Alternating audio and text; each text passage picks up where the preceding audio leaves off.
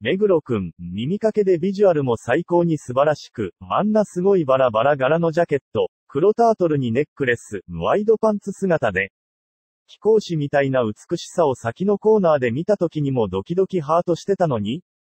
なんと、目黒蓮様が振り向いたらまさかのカラさんでう黒いハートハートダンガーホリックの最後のあのバーンで見せどころあって終わることで印象が変わってくるからね、見事でした拍手ドキドキ大優勝トロフィーファンからのコメントでした。そして生歌もダンスも完璧で9人で楽しそうにパフォーマンスをしてくれた。めめこじもあった黒いハートオレンジのハート。それに目黒くんのパート前にコウジくんが歌ってる後ろで荒い息をしながら下ペロしてたのも美しかったニコニコ飛び出すハート。目黒くん、年末の歌番組それぞれでパフォーマンスを少しずつ変えてくれていてこの前の蹴り上げもそうでやっぱりいつもファンを喜ばすことを考えてくれてくれてるんだなって、同じパフォーマンスでも良いのに、